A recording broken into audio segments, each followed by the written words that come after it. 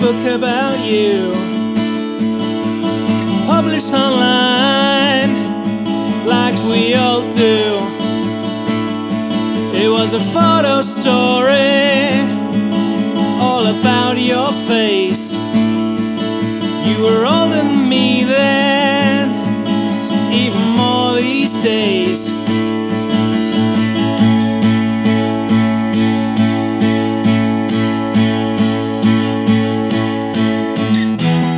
You can say that I'm a loser.